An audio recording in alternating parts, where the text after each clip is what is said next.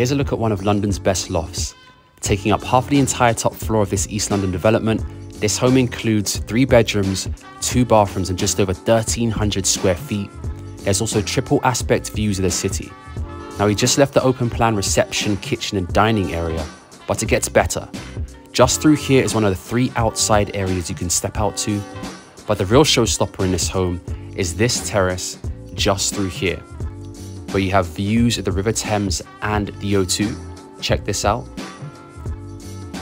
Now, the residents of this building also have access to some impressive amenities, including a 24 hour concierge, swimming pool, Scandinavian spa, gym, and cinema. Here is one of the three bedrooms dressed as a study and complete with its own terrace. We'll finish off in a primary bedroom suite, which includes views of the River Thames, built in wardrobes, and an ensuite bathroom.